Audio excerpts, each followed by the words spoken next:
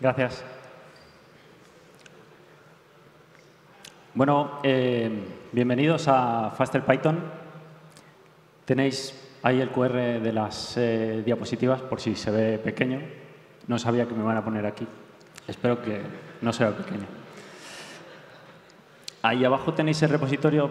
Eh, todavía tengo que actualizar con algún commit más, eh, pero bueno, está abierto creo. Si queréis ver todo lo que he hecho, está en este repositorio. Bueno, como me han introducido, soy Fede, eh, trabajo en Datadog con ese crack de allí que se llama Alberto, que va a hablar luego sobre los segmentation fault y las penas que hemos pasado en esto, este último año, más o menos. Eh, bueno, por contar un poco sobre mí, eh, me gusta mucho Python, me gusta mucho el software libre. Antes de que nacieran mis hijos, eh, cuando tenía tiempo libre, me gustaba mucho trastear con la Raspberry. Eh, bueno, y poco más. Eh, Un poco por, eh, por qué estamos dando esta charla, ¿no? Eh, creo que estáis de acuerdo conmigo en que la velocidad es importante, casi siempre. Los que no están en la charla pueden ver un ejemplo de por qué a veces no. Eh, y bueno, pues hay ejemplos, hay montones, ¿no? Eh, las- los coches de carreras, eh, cuando eres una empresa, ¿no? Porque es importante llegar al mercado antes que tus competidores. Eh, o sea, la velocidad importa en muchísimos aspectos de nuestras vidas, ¿no? Bueno, por, poner un poco de contexto, yo vengo del, del desarrollo web, ¿vale? Entonces, he tratado de buscar un ejemplo mm, más o menos adecuado con el desarrollo web, donde podemos ir más rápido, ¿vale? Eh, entonces, bueno, lo que tenemos aquí es un diccionario de headers que llega a, a Django en, en concreto, ¿no? Cuando lanzamos el servidor y hacemos una petición, en la petición hay unos headers eh, y nos llegan de esta manera eh, en una aplicación Django, ¿de acuerdo? En concreto, quiero que nos centremos en el antepenúltimo, que es el user agent, ¿vale? La idea es tratar de encontrar, como este header llega desde el cliente, desde el navegador, pues puede llegar de distintas formas y vamos a estar interesados en, capturarlo de alguna manera. Entonces, la idea sería tener distintos patrones ¿no? Como de cómo podría ser la key del user agent. Vamos a querer normalizarlo y vamos a tener unos user agent válidos para, para aquí, ¿vale? Y lo que queremos es obtener el valor de, de esta entrada del diccionario. Entonces, bueno, pues tenemos esta funcioncita eh, relativamente sencilla, donde vamos a recorrer en nuestro diccionario de headers y a buscar si alguno machea contra, contra nuestra lista, nuestro set de, de user agents válidos. ¿Vale? Vamos a tener un pequeño paso de normalizarlo y cambiar los guiones bajos por guiones normales, eh, pasarlo a minúsculas y, y- comparar. Creo que bueno, es un problema más o menos habitual. Nos pasó, le pasó a Alberto hace algo más de un mes que tuvo que hacer una función parecida a esta. Y bueno, por, integrarlo un poco en Django, lo que he hecho ha sido escribir un middleware que llama esta función, ¿de acuerdo? Eh, como veis, bueno, pues eh, importamos la función eh, definimos un middleware donde la llamamos y le pasamos request.meta, que es est- este diccionario de headers. El diccionario de headers que os mostré, quería hacer la letra grande, así que borré unos cuantos, pero eran unos 50 lo que tenía en local. O sea, no es una lista gigante, es una lista, pero es una lista decente, ¿de acuerdo? De, de datos, un, un diccionario decente. Bien, eh, entonces, ¿qué es lo que pasa? Eh, tenemos que, cuando queremos mejorar algo, creo que siempre tenemos que primero analizarlo y medir eh, para, para poder mejorar y, y saber cuánto estamos mejorando, ¿de acuerdo? Tener, tener una, un baseline contra el que comparar. Vale, eh, para esto vamos a usar Timeit, que es un, algo, bueno, un módulo que está en las pilas de Python eh, que nos sirve para correr una función un montón de veces. Em, creo que por defecto son 100.000 veces. Vamos a llamar a nuestra función, le vamos a pasar los headers y bueno, eh, le vamos a pasar los globales que tenemos en, este ámbito, donde bueno, no lo he puesto en este ejemplo, pero habríamos importado la función eh, y, los, y, la lista de headers de, ejemplo. Como baseline he tomado Python 3.9, que supongo que es el Python que la mayoría estará usando en producción. Eh, a lo mejor hay gente usando 3.10 ya y habrá gente que use versiones anteriores, pero bueno. El script, básicamente, el que veis aquí, llama a la función de timing y ya está. Este sería nuestro resultado al lanzar nuestro Docker. Imprimimos el, header, lo imprimí simplemente para ver que lo estamos cogiendo bien en todos los, en todos los ejemplos que vamos a hacer. Y bueno, pues con Python 3.9 nuestro tiempo es 50 eh, milisegundos. ¿Vale? Quedaos con este número porque no lo voy a repetir. Bien, entonces, ¿qué queremos? Queremos que Python vaya más rápido, ¿vale? ¿Y cómo lo vamos a hacer? sin tocar nada de Python. Bueno, intentando no hacerlo, ¿vale?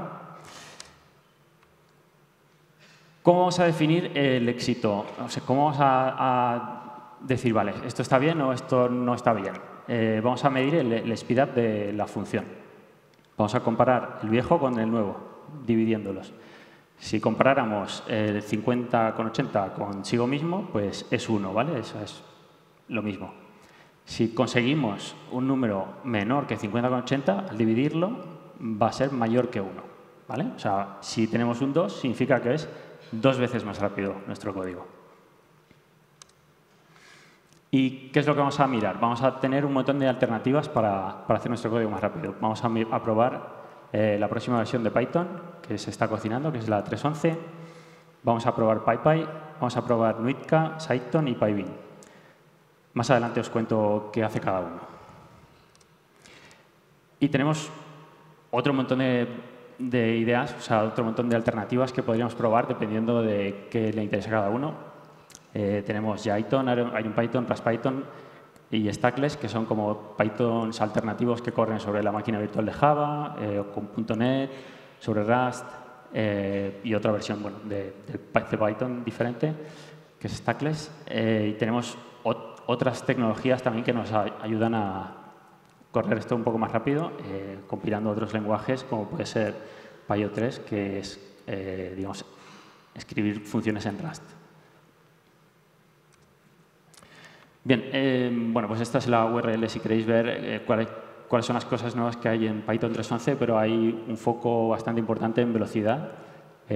podéis, al final de, creo que es la última charla de, la PyCon, eh, o la penúltima, la charla de Pablo Galindo sobre esta versión de Python. Os recomiendo que, vayáis. Bien, eh, este es el Docker que he puesto. No he tocado nada de Python, solo voy cambiado Docker, ¿vale? Eh, la, única línea que cambia es la primera. Cosas a tener en cuenta de, de Python 3.11 para poder correrlo tenemos que ser los dueños de las... tenemos que tener control sobre las máquinas que lo van a correr. Eh, a nosotros nos pasa en nuestro día a día con Alberto que nosotros hacemos código Python, pero no corren nuestras máquinas, corren las máquinas de nuestros clientes. Entonces, eh, la versión de Python que ellos corran es la que hay. No podemos eh, inferir sobre eso, no podemos hacer nada. ¿no? Y otra cosa a tener en cuenta sobre Python 3.11 es que todavía no ha salido eh, la versión estable, digamos, entonces podéis encontraros algún problemita. espero que no sea nada importante todavía, eh, o sea que ya esté todo rodado, pero a tenerlo en cuenta, ¿vale? Bien, ¿cuál es nuestro resultado? Eh, pues 32 milisegundos, no está, no está nada mal, baja bastante de los 50, ¿no? Otra, otra alternativa que podemos probar es PyPy. Eh, PyPy es una implementación alternativa de, Python en cuanto a digamos, la, máquina virtual que va a correr. ¿de acuerdo? El lenguaje es el mismo, pero no todo, todo el código que funciona en CPython, si, si tienes cosas específicas hechas en C, eh, a lo mejor no, no funciona. Bien, ¿cómo lo vamos a probar? Simplemente cambiando otra vez la primera línea por PyPy y corremos nuestro Docker y ya está. Tenemos un tiempo de 12 milisegundos. Nada mal. Cosas a tener en cuenta, eh, lo mismo de antes. No, si no, las máquinas no son nuestras, no les podemos poner PyPy. Y lo que comentaba, no es 100% compatible con, con CPython. Nuitka. Eh, Nuitka es un compilador de Python eh, donde, o digamos que le vamos, a compilar nuestro código eh, y vamos a hacerlo correr contra CPython. Es una tecnología que usamos con Alberto en el pasado y que nos funcionó bastante bien. La idea sería instalar Nuitka y, y OrderSet. Bueno, es, es opcional OrderSet, eh, pero bueno, yo lo hice tiene distintas maneras de compilar. Yo lo que hice fue compilar el, nuestro fine headers como módulo, pero puedes compilar todo el, todo el proyecto, pues hay, hay, distintas opciones. Y bueno, nuestro resultado es de 65. En este caso no, no ha sido más rápido que el que CPython normal. Bien, cosas a tener en cuenta. Eh, Nuitka hay que compilarlo y eso lleva, tiempo, es un tiempo que hay que tener en cuenta. Algunas partes se optimizan y no están disponibles, por ejemplo, el stack trace. O sea, no podemos ir recorriendo los stacks una vez que hemos compilado con Nuitka. Y solo funciona con CPython. Cython. Eh, es una tecnología que, bueno, eh, si queréis ver más en profundidad de lo que voy a contar, eh, podéis ir a la charla de, Alberto, que va a hablar un poquito sobre eso, sobre nuestras penas con, él. Eh, tiene dos maneras de funcionar. Eh, una es con, con, un lenguaje que ha evolucionado de, de, Pyrex, que se llama ahora el lenguaje Cython, y también eh, con C++, haciendo eh, bindings con, con Python, ¿de acuerdo? Yo voy a mostrar las dos, eh, espero que no sea confuso, digamos, pero bueno, ahora lo, vamos viendo. Eh, la manera, digamos, de cambiar el Docker es instalarle Cython y vamos a hacer este paso de, del setup.py eh, buildtext. ¿vale? El script de Python, es, o sea, el script que vamos a correr es más o menos el mismo, eh, pero bueno, ahora lo vemos. Vale, este sería el setup.py que, necesitamos. En este setup.py vamos a importar la función cythonize y vamos a pasarle el, código en, en PIX, que, es de Pyrex, ¿de acuerdo? Y, y el PXD son, digamos, los archivos donde tenemos que, que, ejecutar, escribir el código eh, Pyrex o los bindings con, con Python. Vale, entonces el, código Pyrex o, Cython cambia un poquito con respecto a, Python normal. Aquí, bueno, pues es básicamente la, misma función que hicimos antes en Python, la he traducido a Cython, ¿de acuerdo? Este sería la versión, pues puesto Cython 1 porque es la versión con el lenguaje de, de Cython. Y bueno, al correrlo nos da 40 milisegundos, que no está mal. Vale, y este sería el ejemplo con, con C++, ¿vale? Sería el Cython 2 haciendo los bindings con, con C++. Eh, tenemos que, de alguna manera, recubrir la función eh, nativa de C++ con, con esta de, de, de. No podemos llamarla directamente, eh, entonces vamos a exponer eh, esta otra función findUserAgent, va a llamar a cFindUserAgent, ¿de acuerdo? Y ya está, y devolver el resultado. Tenemos aparte que definir este, este otro fichero PXD que nos, nos, va a permitir importar las, las funciones que tengamos en, en nuestro código C++.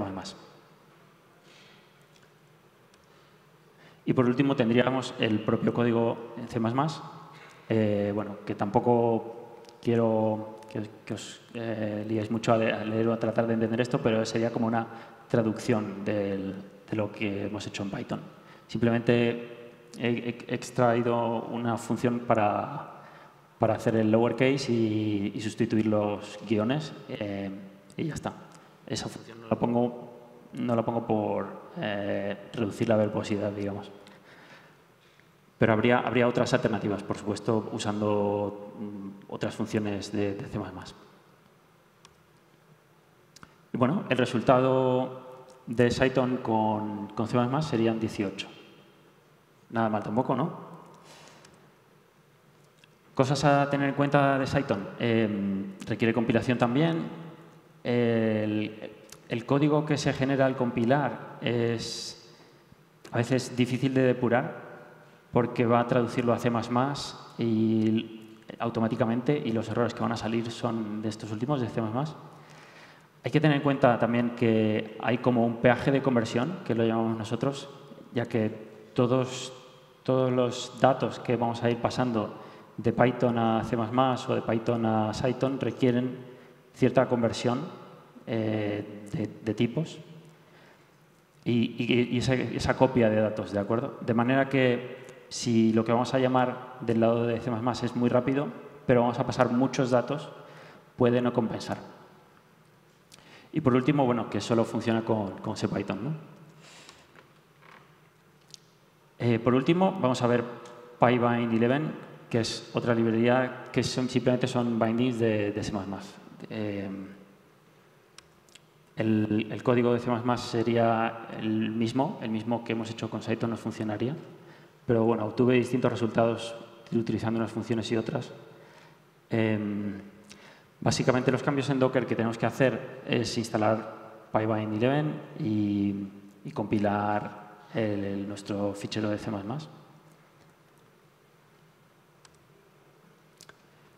Los, este sería, digamos, la definición de los bindings que vamos a, a utilizar. Eh, esto es necesario, digamos, es como la parte de, de donde recurrimos la función de C++. Es, es algo así. Y bueno, por último, el resultado también son 18, eh, nada mal. Cosas a tener en cuenta, requiere compilación. Eh, volvemos a tener el mismo problema del peaje de conversión, y en este caso, eh, PyBind 11 funciona con CPython y con PyPy también. Bien, entonces, ¿cómo queda digamos, la foto de todos los eh, competidores? Eh, bueno, pues esta es la salida digamos, del, de Docker, del Docker Compose con, con, todos. Ya hemos visto los números de cada uno. os los pongo aquí un poco más bonito y con el speed up de cada uno. Eh, bueno, como veis, PyPy en nuestro caso ha funcionado muy bien. Eh, Nuitka no ha funcionado tan bien. En su favor tengo que decir que, o sea, y, en general con todos, ¿vale? dependiendo de cómo sea nuestro código, nos van a funcionar algunos mejores que otros. Eh, a nosotros Nuitka en el pasado nos daba un speed up alrededor de 2. ¿vale? En este caso es menos de 1. Y bueno, y los que me los siguientes que mejor resultado han tenido han sido extraer las funciones a, C++, ya sea con Cython o con PyBeam, eh, están muy cerca. Bien, si tuviéramos, si, escogiésemos, em, pues, ¿cuál era el más rápido? Eh, PyBind 11, nuestro código corre casi tres veces más rápido, ¿no? O sea, es, es un éxito, ¿no? Es lo que queríamos. Este sería el caso, digamos, si, si, nosotros quisiéramos empaquetar nuestro middleware y exponerlo para que lo pueda utilizar cualquiera en, en sus servidores. ¿vale? Obviamente, si, si, los servidores son nuestros y podemos controlar la versión de Python, a lo mejor pondríamos eh, PyPy, que nos daba 4. Eh, y hay que tener en cuenta que PyPy probablemente acelerara otras partes de, de la request y no solo nuestro código, ya que en este caso solo estamos compilándolo el, middleware concreto. ¿no? Entonces, hablando de esto, si volvemos un poco a la request eh, y quisiéramos analizarla entera. Eh, yo lo que he hecho ha sido quitar todos los eh, otros middlewares que, Django pone por defecto y dejarlo lo más limpito posible. Y he utilizado estas herramientas que, que son PySpy y SpeakScope para hacer como un profile de, toda la request y, poder verla visualmente, ¿de acuerdo? He hecho una captura, digamos, de esto. la verdad es que es una Speedscope es una web interactiva, es, muy, muy útil, muy interesante. Em, me recuerda un poquito a nuestro producto de APM, de Datadog. Eh, aquí podemos ver, pues en rojo he recuadrado la, la request entera y en azul tenéis el, solo el trocito que, es llamada, la llamada a nuestro, middleware. Entonces, bueno, podéis ver que son 11 milisegundos la, la request entera y nuestro middleware son 357 microsegundos. Entonces, si lo ponemos ahora en perspectiva, eh, utilizando la, ley de Andal, eh, la ley de Andal lo que nos dice es que si el, improvement, digamos, del, performance, la mejora que vamos a tener en, todo el proceso, viene limitado por la parte real, que, por el tiempo que se llama a la parte que estamos optimizando. Es decir, eh, por ponerlo en un ejemplo un poco más visual, si tenemos una hoja de papel y estamos optimizando esa parte del centro y la plegáramos, por ejemplo, hasta infinito, ¿no? o sea, la plegamos completamente, en nuestra, la hoja de papel que queda en la mesa, eh, pues no, es infinitamente más rápido. esas otras partes que había en los costados siguen siendo igual de lentas, ¿de acuerdo? Entonces, ¿cuál es la, mejora en total de, nuestra request eh, o de nuestro proceso? Bueno, pues es con esta fórmula matemática eh, donde P es la proporción del tiempo que se va a nuestra función y la S es el speed up que hemos conseguido en nuestra función.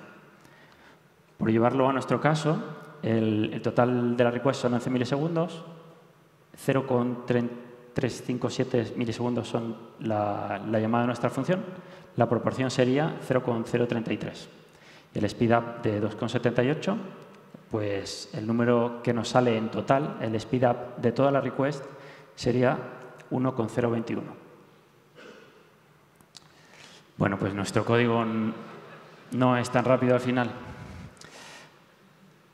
Pero bueno, por, poner también las cosas en perspectiva, os quería mostrar un ejemplo de si consiguiéramos un speed up de un millón, ¿vale? si nuestro código fuera un millón de veces más rápido, eh, aún así nuestra, nuestra mejora sería de 1,034. Así que bueno, viéndolo así, 1,021 no está tan mal. Eh, y bueno, simplemente como anécdota, eh, quería que supierais, por si no lo sabíais, que un millón, si lo escribimos así en Python, con guiones bajos, funciona bien también. Eh, para números grandes se lee mucho mejor. Bueno, pues pasamos a las conclusiones. El ecosistema de Python es increíble, tienes un montón de librerías para hacer de todo. ¿no? podemos hacer C++, podemos integrar patterns de, con Rust, podemos cambiar por completo nuestra máquina virtual de Python por, otra más rápida, cuatro veces más rápida. Tenemos que tener en cuenta cuando empecemos a optimizar y pararnos un poco a pensar cuál va a ser el impacto de, nuestra optimización. Hay que evitar eh, ponernos como locos y decir, esto es lento. No, vamos a primero analizar y pensar y después optimizar. Otra de las, cosas que hemos aprendido es que tenemos que medirlo todo, ¿de acuerdo? Cuanta más información tengamos, mejores decisiones vamos a poder tomar. Y por último, la, otra, el otro aprendizaje es que no podemos mejorar lo que no podemos controlar. ¿no? Por ejemplo, eh, no tiene sentido tratar de hacer que la gente use PyPy eh, si tenemos una librería eh, que se puede usar o que debería poder usarse eh, por todo el mundo. ¿no? Eh, tenemos que centrarnos y decir, bueno, ¿qué, está en nuestra mano? ¿De acuerdo? ¿Y qué podemos, qué podemos hacer de nuestro lado para que a todo el mundo le funcione esto, nuestra, nuestro código más rápido? ¿no? Bien, pues eso es todo, amigos.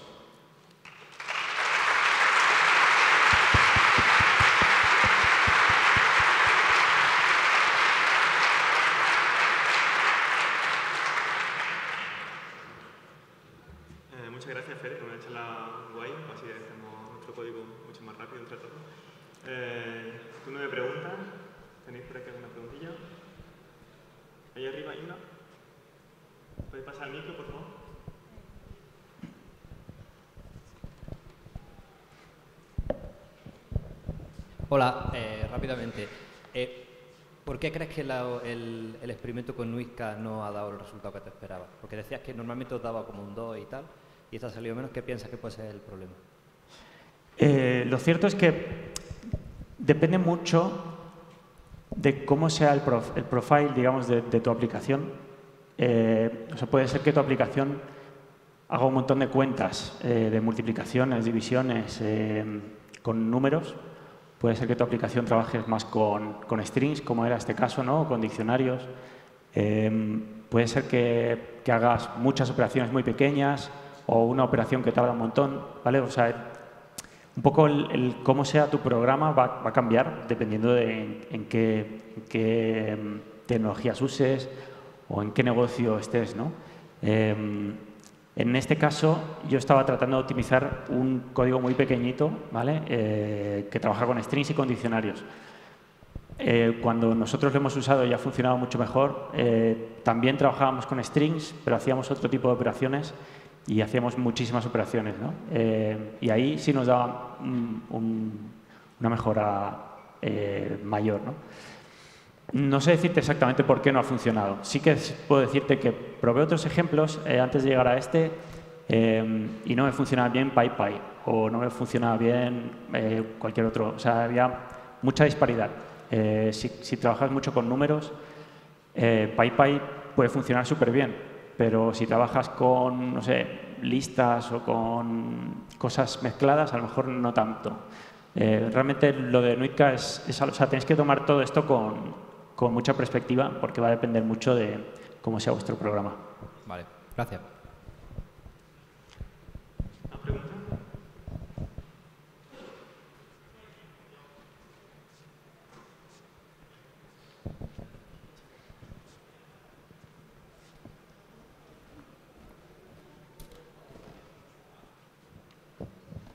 Bueno, no sé si lo habrás dicho, pero las medidas temporales las tomas tras una ejecución o tras varias y haces alguna media o... Sí, las, las medidas temporales, eh, vuelvo aquí, las, las hago con TimeIt, eh, que es un, es un módulo de Python que está en las pilas de Python y que nos permite ejecutar un código, ¿vale? en este caso la función con los datos, lo ejecuto 100.000 veces. Em, con todos lo he hecho así. Em, entonces, digamos que ahí se, se normaliza un poco eh, las diferencias. Em, o sea, obviamente lo he hecho en mi máquina y había, no sé, el navegador estaba abierto o cambiaban los números cada vez. Eh, esta era una, una, de las fotos, pero había otras donde cambiaba ligeramente ¿no? los números.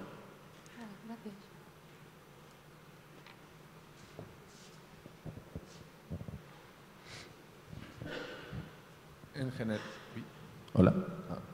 Eh, en general, estás, has hecho una cosa muy interesante sobre asegurarte de que no estás empezando a optimizar antes de meterte a algo. Normalmente, eh, o sea, no es tanto sobre este ejemplo, pero ¿a cuánto, o sea, ¿cuándo sueles empezar a optimizar? ¿Cuándo empiezas a ver que hay un problema? O sea, cuando algo te toma el 20% del tiempo, 50% o cómo lo sueles? Es, es una buena pregunta. Eh, la verdad es que yo lo que suelo hacer es, o sea, al, contrario de lo que he hecho aquí, ¿vale? Porque quería mostraros el error, ¿no? Yo suelo empezar cogiendo la foto. Em, esta herramienta que os he mostrado, bueno, os he mostrado la foto, pero también puedes ordenar por tiempo, de forma descendente, todas las funciones y saber dónde se están yendo los tiempos y cuántas llamadas tiene cada función. Entonces, cuando tienes una función que se llama mucho, em, a lo mejor puedes optimizar ahí y aunque optimices un poquito, te va a afectar bastante porque se llama mucho, ¿no? Y a veces tienes una función que se llama poco eh, y, puedes rascar un poco menos. O sea, depende. Lo, mejor es irse al tiempo total, a, digamos, cuántas veces se llama y cuánto tiempo toma y tratar de analizar si puedes optimizar ahí. Y, luego puedes ir bajando, ¿no? Pues a la siguiente función más llamada y con más tiempo consume, ¿no?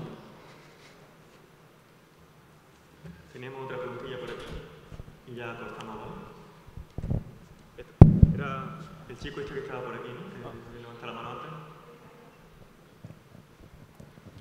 Hola.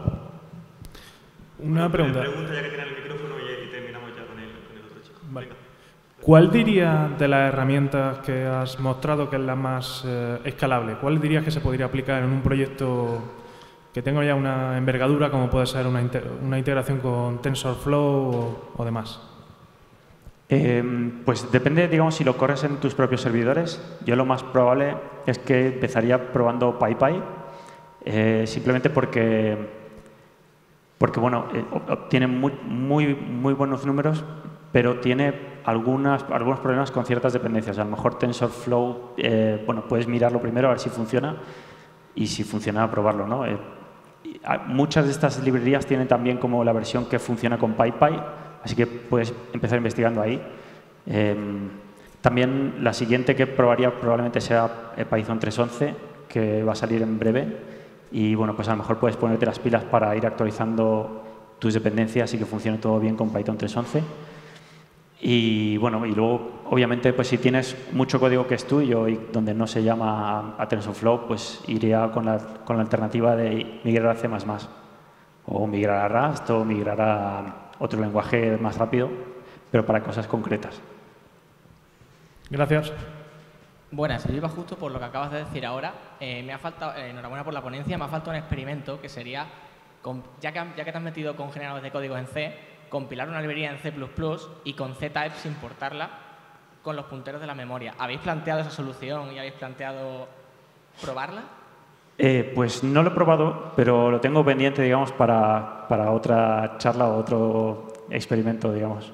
Pues justo encaja lo que dices tú, ¿no? Extraes una pequeña función, generas una librería, importas solo esa librería específica para no compilar el código completo, pero sí pequeñas partes. Ya, o sea, tú te refieres a no usar PyBind, sino llamar a C directamente. Directamente codifica C, porque lo que acabas de presentar ahora era C++. Entonces, al fin y al cabo, debuguear eso tienes que conocer C, compilas una librería de C y la importas con C-types, te importas la función específica, tienes que exportar con tipos estándar de C, pero te permite jugar con un montón de cosas y directamente ejecutas en, el compilado.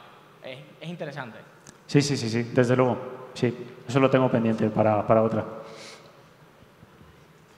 De acuerdo, muchas gracias.